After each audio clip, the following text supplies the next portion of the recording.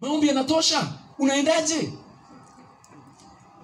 Unaenda tu nitamwombea kwa nini mungu asijibu maombi kupitia wewe? Unaendaje? Sasa mimi ni masikini jamani nitafanyaje? Basi tu bora nisiwe ninaenda. Ah, ah, mungu anakutaka uende lakini unaendaje? Unaenda mikono mitupu kwa aliyefiwa. Unaenda mikono mitupu kwa aliyelazwa unaenda mikono mitupu kwa aliyejifungua kwa operation? Unaenda mikono mitupu. Hawa wakaenda na kitu. Biblia imenyamaza kile walichopeleka. Lakini biblia inasema wakaja kila mtu kutoka mahali pake. Wakaenda. Kuomboleza badala ya kufariji. Oh, wameanza kuomboleza badala ya kufariji. Mstari wa kumi na mbili. Ayubu 2 mstari wa kumi na mbili na kumi na tatu. Kuomboleza badala ya kufariji. Basi walipovua macho yao na wakali mbali wasimtambue wakainua sauti zao na kulia kila mmoja akararua joo lake wakarusha mavumbi juu ya vichwa vyao kuelekea mbinguni. Kisha wakaketi pamoja naye muda wa siku saba mchana na usiku. Wala hapana mmoja aliyenena neno lolote kwa maana waliona ya kuwa mashaka yake aliyo nayo ni makuu mno. Hey. mfariji anapogeuka kuwa mwombolezaji inakuwaje? Ni kitu gani kilifanya wasimtambue? Kwanza ilichukua muda mrefu taarifa kuwafikia pili ilichukua muda mrefu wao kukusanyana. Tatu ilichukua muda mrefu kutoka kwenye nchi zao kuanza kutembea kwenda kwa ayubu. Na hatujui walitumia muda gani. Hiyo ilimkuta ilimfanya wamkute ayubu hali imezidi kuwa mbaya. Pia kwamba hata habari kuwafikia ilikuwa ni shida. Kwa hiyo ikafanya ayubu aweze kuwa na hali mbaya ndipo wakamkuta amejaa mapere wakamkuta mwili unatoa maji wakamkuta ana harufu mbaya wakamkuta amekonda sana wakamkuta anaoma kali wakamkuta anajiarishia wakamkuta ngozi imekakamaa wakamkuta usiku akilala anaota majinamizi ndiyo wakamkuta mwili mzima una mapere wakamkuta mwili hauna nguvu wakamkuta macho yake yamepofuka wakamkuta hawezi kupumua vizuri wakamkuta ngozi imechubuka mwili mzima mifupa inasagika wakamkuta anaumwa meno wakamwona akiwa katika maumivu makubwa sana. Walipomkuta hivyo walishia tu kusema huyu si wakufa si tulikuja kumfariji watoto wake kumbe naye yuko hivi. Huyu huyu ayubu ni wakufa ni wakufa badala ya kufariji kwa sababu walimuona ni wakufa wakaanza nao kuomboleza. Lakini walimjali. Walimjali ndio sababu walikuja. Unajua watu wengi wanapohubiri marafiki zake ayubu wanawahubiri upande wa negative kutokana na zile hotuba zao. Hatutazigusa kwenye mahubiri. Walimjali. Umewahi kumjali mfiwa umewahi kumjali mjane? Umewahi kumjali mgane? Umewahi kumjali yatima? Umewahi kumjali aliyeporomosha ujauzito wake maskini? Katoto kake kamepotea. Umewahi kumjali aliyejifungua mtoto akafa? Umewahi kumjali aliyefuta ushirika? Umewahi kumjali hadi ukamwombea chumbani kwako machozi yakakutoka? Umewahi kumjali? Umewahi kumjali namna hiyo? Umewahi kumjali huyu huyu mama aliporazwa ulimjali. Alipougua muda mrefu ulimjali. Alipojifungua kwa kupasuliwa ulimjali. Ulimjali mke wake. Je ulimjali alipofukuzwa kazi? Mashamba yake yalipoungua moto ulimjali? Mifugo ilipoingia ikala mahindi yake akamaliza na maharage yake. Ulimjali? Ng'ombe wake alipotumbukia shimoni ulimjali? Ulimjali? Mtoto wake alipogongwa na pikipiki ulimjali alipomaliza siku nyingi huyu mshiriki haji kanisani. Ulimjali? Ulimjali. Alipofuta ushirika ulimjali. Alipokosa kodi ya nyumba ulimjali. Rafiki zake ayubu walipounua macho yao bado mbali wasitambue wakainua sauti zao na kuanza kulia. Ni kwa sababu walimjali. Kwa kweli marafiki zake ayubu walikuwa watu wema sana kwa ayubu. Wapeni amina, amina. Achana na hotuba zao mbaya walikuwa wema sana kwa sababu walifanya matendo makubwa matatu ambayo wengi leo tumeacha kuyafanya kwa wanaopata shida. Tendo la kwanza, walikuja. Tendo la pili, wakaongea naye. Tendo la tatu, walikaa naye. Ah! Sikia matendo haya. Haya matendo matatu ndiyo watu wanapokuwa kwenye shida wanayataka. La kwanza, nenda. La pili, kaa naye. La tatu, ongea naye. Hayo matendo ni muhimu sana kwa aliyefikwa na msiba. Hayo matendo ni muhimu sana kwa anayeugua kitandani. Hayo matendo ni muhimu sana kwa mtu anayeuguza. Nenda, wao walikwenda. Kaa naye, wao wakakaa naye tena siku saba. Alafu sema naye, wakasema naye. Nenda uyafanye matendo kwa neema ya Bwana. Kuna mtu mmoja amelazwa, unamjua, nenda umfanyie hayo matendo. Kuna mama mmoja ameachika, ndoa yake imepata shida. Kuna baba mmoja, baba mwenzako, ndoa yake ina shida. Unajua kabisa hawalali kitanda kimoja na mke wake, unajua kabisa waongee vizuri. Nenda, nenda, kaa naye, ongea naye. Unamjua, unamjua yule mama mmoja ambaye kwa kweli hana amani kwenye familia yake, watoto wake wameharibika, linamuuma sana. Unamjua yule mshiriki ambaye siku nyingi haji kanisani, nenda kaa naye, alafu sema naye. Mambo mangapi wapendwa? Mbona mpendi kuniambia mangapi? Matatu. Mangapi? Hapa wataki kusema. Hapa semeni mangapi? Hebu tuyataje. La kwanza nenda, la pili kaa naye, la tatu sema naye. Hebu tuyataje. La kwanza la pili, la tatu. Hayo matatu ukifanya, Mungu atakubariki kwa wahitaji. Nenda uyafanye. Waliyafanya, wakaenda, wakakaa naye. Sasa ajabu ni hii, angalia mstari wa kumi na tatu.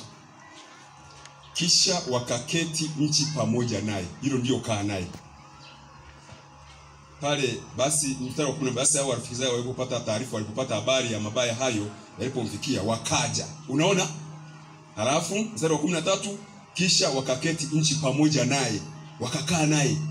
Ukienda kwenye hotuba ndipo linakuja wakasema naye. Nasoma mstari wa kumi na tatu.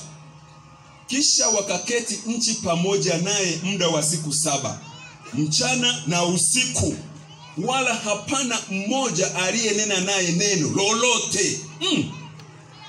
Eti wakakaa naye muda wa siku saba, alafu hapana hata mmoja kati yao aliyenena naye neno lolote. Hata kumsalimia hawakumsalimia, hata kumuuliza unaendeleaje hawakumuuliza. Muda wa siku saba. Hivi ni washiriki, naulize washiriki, tunapomalizia hiyo fungu sasa, huyu hapa ni Ayubu, huyu hapa ni Ayubu, akaa tu, tumemkuta anajikuna, tumekuja. Hebu msimame niwasumbue. Mimi ni Elifazi. Mimi ndio mzee kuliko wote. Elifazi alikuwa mzee kuliko wote. Huyu si nani mkubwa kuliko wote? Bilidadi. Huyu ni Sofari. Sasa tumemkuta Ayubu. Ndio sasa tumeenda kwa Ayubu. Wakakaa wakaketi naye muda wa siku saba mchana na usiku, hakuna aliyesema naye neno lolote. Hebu tuketi naye. Asubuhi. Saa tano, saa nane, saa kumi na mbili, usiku saa nne, saa saba za usiku, saa kumi na mbili. Siku ya kwanza imeisha, hamuna kusema naye. Hata kumwambia haujambo ndugu yetu. Ah jamani, sio Biblia imesema hakuna aliyenena naye neno ah, hivi mnanielewa? Neno namna gani? Siku ya, mm, ya saba. Hivi hicho kitu kinawezekana? Endeleeni. Hivi hicho kitu kinawezekana? Hivi hawakula hata kula? Hivi hawakuoga? Hivi hawakulala usingizi? Nyie wasomaji wa Biblia mnalichambuaje hilo fungu? Mnalielezaje? Au tunalipeleka kavu kavu hilo kwamba hapa bwana Ayubu alinyamaza siku zote saba, na wewe ukienda kumwona mgonjwa unyamaze siku saba. Mungu abariki tunaye kwa jina la Yesu, amina. Wewe unadanganya watu, kajifunze miguuni pa Yesu. Saba. Kipindi hicho ulipokuwa ukienda kufariji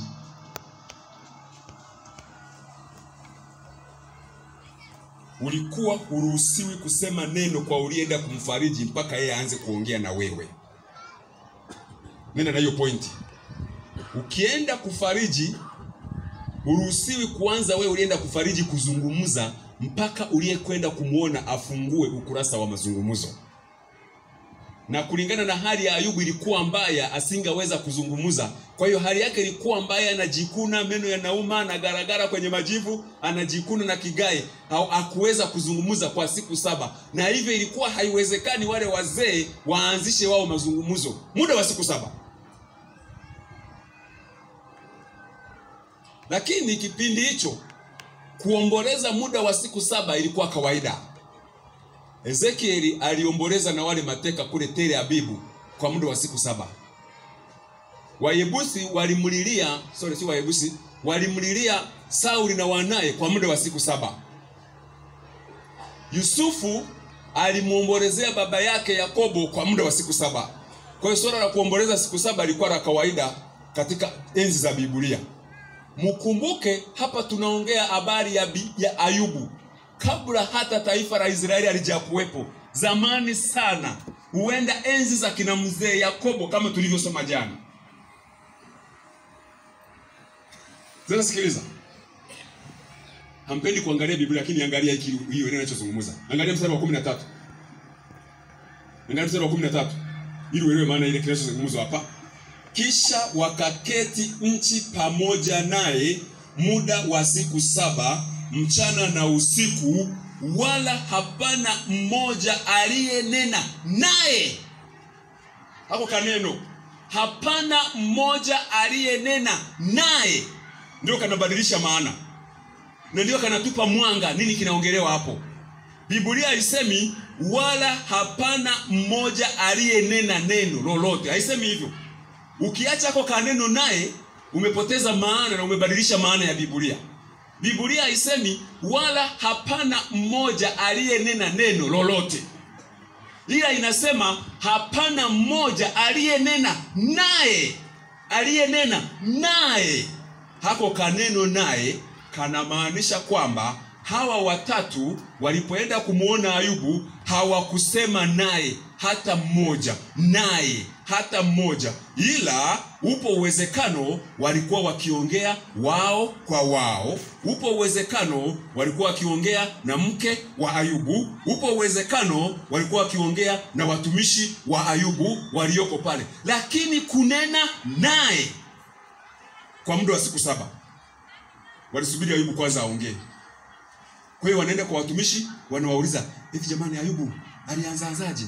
Watoto wake jamani, walikuwa walikuwaje jamani? Ah, walikuwa hivi, wakatuletea taarifa. Jamani watumishi, punda wake walikuwaje? Punda wake walikuwa hivi. Jamani, mama Ayubu, pole sana. Yaani ilikuwaje? Yaani na mimi niona tu majipu yanaanza. Lakini, hey, jamani, Bilidadi, unaonaje hii hali? Sofari wanamwangalia. Sofari, unaonaje hii hali? Kwa kweli eh, mzee mfazi unaonaje hali? Kwa kweli yani Ayubu inatisha. Lakini hakuna aliyenena naye kwa muda wa siku saba.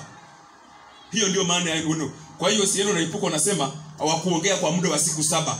Hawalikuwa walikuwa kwa muda wa siku saba. La hasha. Marafiki zake Ayubu walikuwa ni watu wema sana. Wakafanya mambo matatu. Wakaenda wakakaa naye Halafu wakasema naye, walimtafuta mmoja mwenye matatizo, mwenye majaribu, mwenye adha, mwenye shida, wakaenda kunena naye. Sikiliza,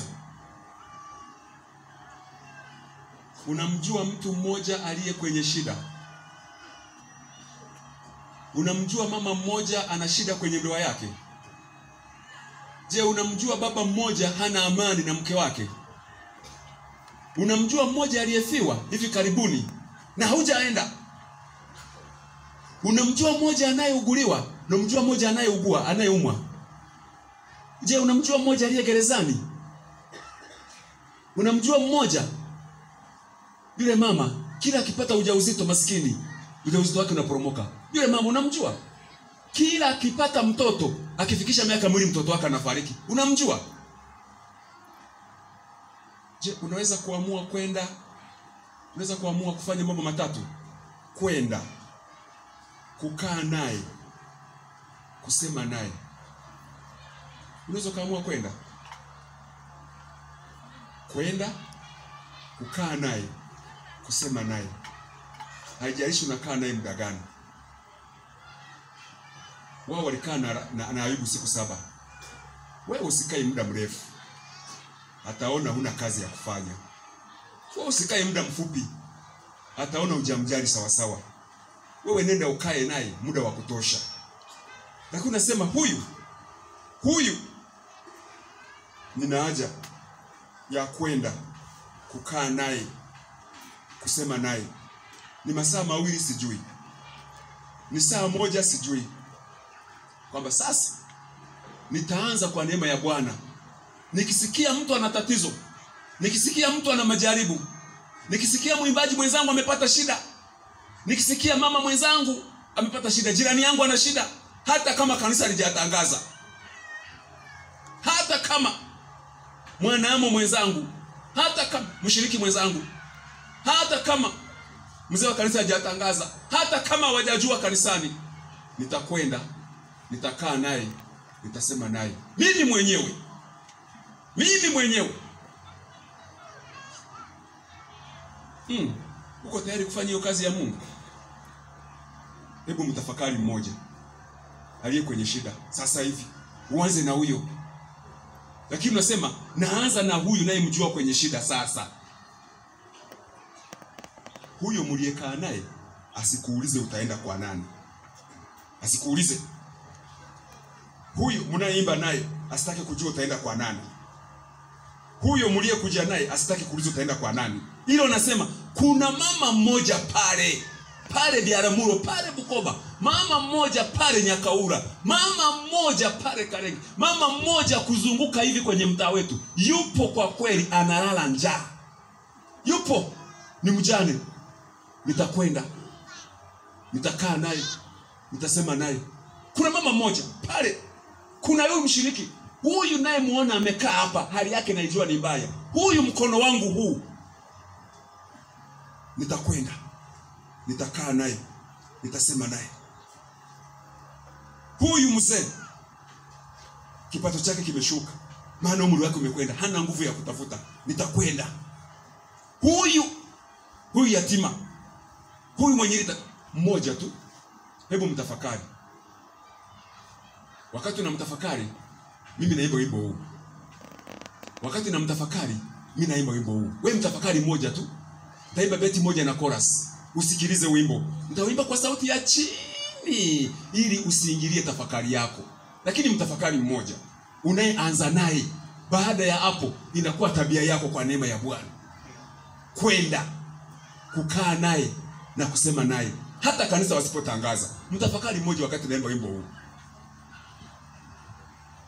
walio kifoni nenda waponye uwatoe walio shimoni wanaoanguka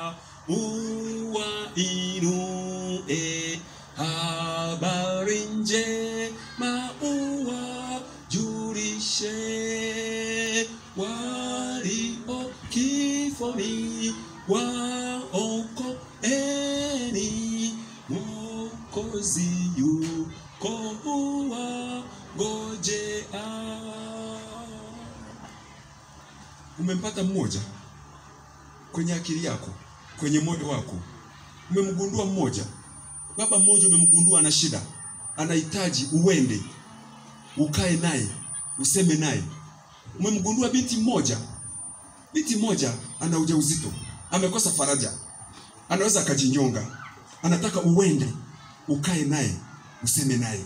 Kuna kijana mmoja anakaribia kutoroka nyumbani kwao, amefanya mambo mabaya, lakini wewe unajua, unatakiwa uende ukae naye useme naye. Yule mama unamjua, shida zake unazijua, amezaa watoto wengi, anashindwa kuwatunza, hana mahitaji, anataka uende ukae naye useme naye. Yule mzee unamjua vizuri, yule mshiriki unamjua, ana siku nyingi hajaja kanisani, ana siku nyingi kabisa hajaja kanisani tangu amebatizwa ameacha kuja kanisani, ameliacha kanisa. Sasa hii ni sabato ya tatu, huu ni mwezi wa sita, haji kanisani. Unamjua vizuri kabisa, unatakiwa uende ukae naye useme naye. Umemgundua mmoja? Kama umemgundua mmoja aliyekaa na wewe asiku, asikuulize, asikuulize, asikuulize, aliyekaa na wewe asikuulize, rafiki yako mliyekuja naye asikuulize, mchumba wako asikuulize, mke wako asitake kumjua ni nani, ila wewe amua tu, maana ni agano lako na Mungu. Uende ukae naye useme naye, asikuulize. Baba yako asikuulize, wala mama yako asikuulize, mama mkwe wako asitaki kujua, ndio mkamwana wako mnayekaa naye asikuulize, maana ni wewe na Mungu. Ni mwanafunzi mwenzako asikuulize, ni wewe na Mungu. Huyu anayehubiri hapa asikuulize, ni wewe na Mungu. Unasema sasa, yule ninayemjua nitakwenda, halafu nikae naye, halafu niseme naye. Naimba wimbo huu. Kama unamjua mmoja au wawili, utasimama mwenyewe kwenye kiti chako, utapiga hatua uje hapa mwenyewe, usije kwa sababu wengi wamekuja. Kama umemgundua mmoja, unasema ee Mungu, nikianza na huyu, naomba neema yako iniwezeshe niwe na tabia hii ya kujali walio katika matatizo. Utasimama mwenyewe uje hapa mbele, nitaimba huo wimbo. Sihitaji kukuhamasisha sana kwamba simama uje, njoo. Ah, ah, usije kwa msisimuko, njoo kwa sababu umemjua mmoja na uko tayari kuanza naye. Tangu hapo iwe tabia yako kuwajali walio katika matatizo, kuwajali wanaoteseka. Naimba huo wimbo. Ninapoimba beti la kwanza na la pili, wewe kama haujamjua usije, endelea kutafakari. Nitakuwa naimba sauti ya chini. Ukimjua ndio uje, usije kwa sababu mama yako atakuuliza mbona ukwenda. Usije kwa sababu mzee wa kanisa atakuona jicho baya, mbona ukujitoa. Usije kwa sababu mchumba wako atakudharau. Ah, ah, njoo kwa sababu una mpango wa kuwatoa kifoni watu wa Mungu, umu, ufanye kazi ya Mungu. Walio kifoni, enda waponye, uwatoe walio shimoni, wanaoanguka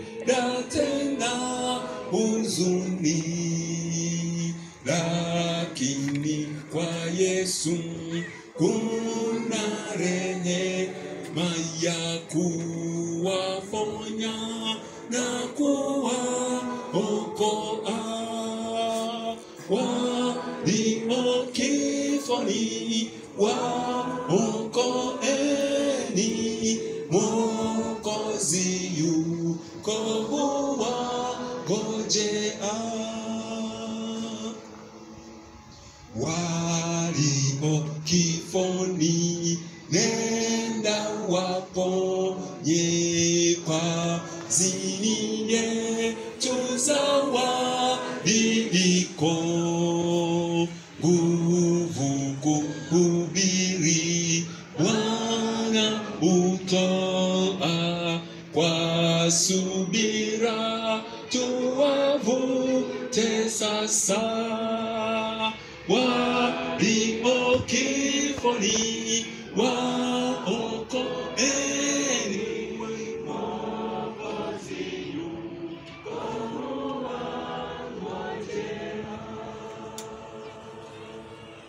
nikwambie, anza na huyu kumwombea, anza na huyu uliyejitoa, jina lake unalijua, kumwombea sasa.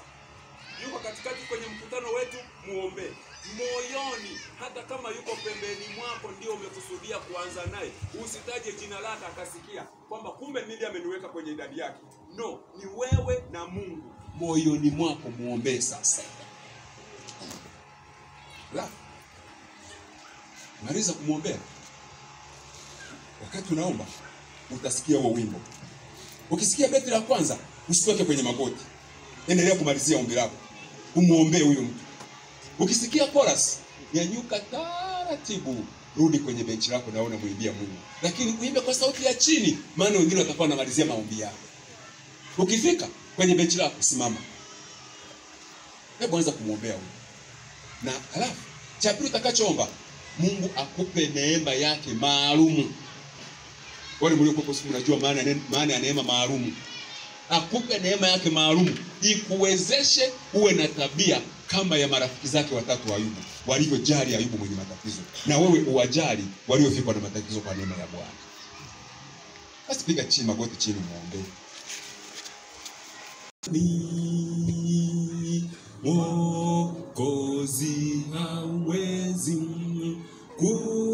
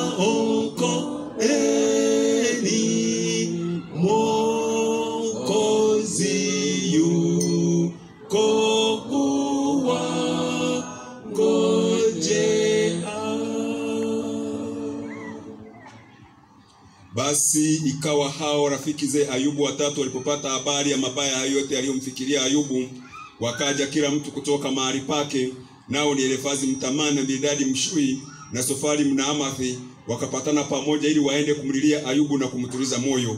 Basi walipovua macho yao, nao wakali mbali wasimtambue, wakainua sauti zao na kulia, kila mmoja akararua joo yake, wakarusha mavumbi juu ya vichwa vyao kuelekea mbinguni. Kisha wakaketi nchi pamoja naye muda wa siku saba mchana na usiku, wala hapana mmoja aliyenena naye neno lolote, kwa maana waliona ya kuwa mashaka yake aliyonayo ni makuu mno. Mungu alibariki neno lake kwa jina la Kristo Bwana wetu, amina.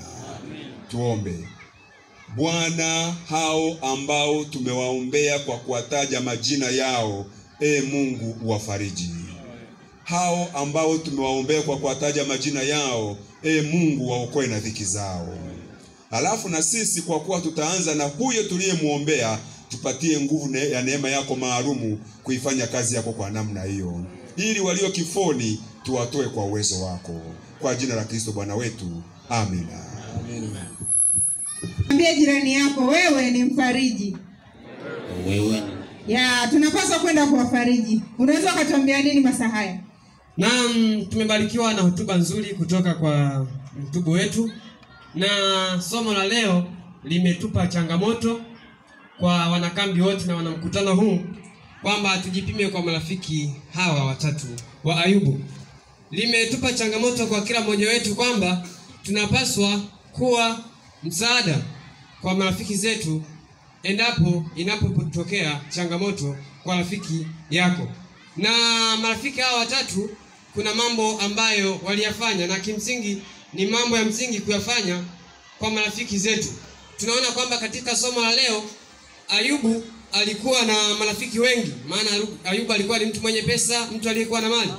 Lakini tunakuta katika marafiki wake wale wote wale marafiki watatu ndio waliokuja kumsaidia Ayubu, na msemo wa Waswahili mmoja unasema akufai kwa dhiki ndiye Ndiye rafiki. Naam. Kwa hiyo miongoni mwa wale waliokuwa marafiki wengi wa Ayubu, hawa watatu wanakuja kumfaa Ayubu. Asante. Tukumbuke tu ya kwamba mikono mitupu Hailambwi. Amina. Kesho tutakuwa na somo zuri sana ambalo itakuwa ni somo la tano lenye kichwa cha somo kisemacho Mungu arejesha upya mibaraka ya Ayubu maradufu. Maisha ya Ayubu baada ya majaribu, na mafungu elekezi yanapatikana katika Ayubu sura ya arobaini na mbili fungu la kumi hadi la kumi na saba. Tutaangalia biografia, tunalikumbuka hilo neno e, wasifu tutaangalia wasifu wa familia ya Ayubu kwa mara nyingine tena. Usipange kukosa, mwalike rafiki, mwalike jirani, uje kwa ajili ya kubarikiwa na masomo haya. Wanaokuletea matangazo ni mimi Shelda Ayubu na Faraja Elia. Naam, usipange kukosa. Mungu anapoenda kurejesha mibaraka kwa Ayubu, Mungu anajiandaa kurejesha, pia mibaraka yako iliyopotea. Panga ukuwahi katika vipindi vya kesho. Amina. Ziko jumbe mbili ambazo tumezipokea kutoka kwa wasikilizaji wetu. Huyu anasema Mungu awabariki sana, tunazidi kubarikiwa japo twaelekea kilele cha makambi yetu. Bwana Yesu asifiwe. Amina. Ja, lenye mwanzo lazima liwe na mwisho.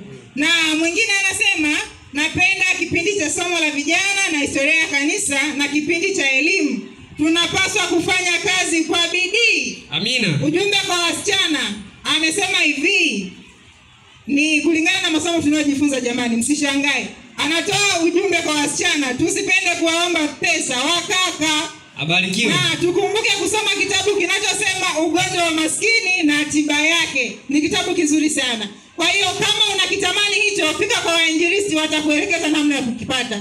Ubarikiwe. Karibu katika vipindi vya mchana. Amina.